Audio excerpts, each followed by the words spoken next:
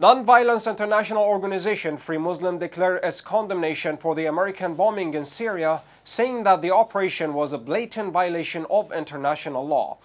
The U.S. resorted to violence under vague pretexts reflects a suspicious agenda that exacerbates the regional crisis in the Middle East, especially since the justification given by the U.S. administration is not based on real facts.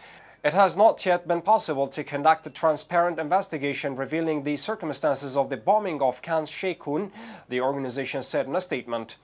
The organization called on the UN Security Council to fulfill its obligations to protect international legitimacy, stressing the need for the United States to abide by international consensus and not to drag the international community into further divisions through reckless decisions and ill-considered measures. The organization further called on the warring parties in Syria to resort to dialogue and renounce violence and put an end to the political crisis that has engulfed the country, hoping to spare the suffering Syrian people more suffering and misery.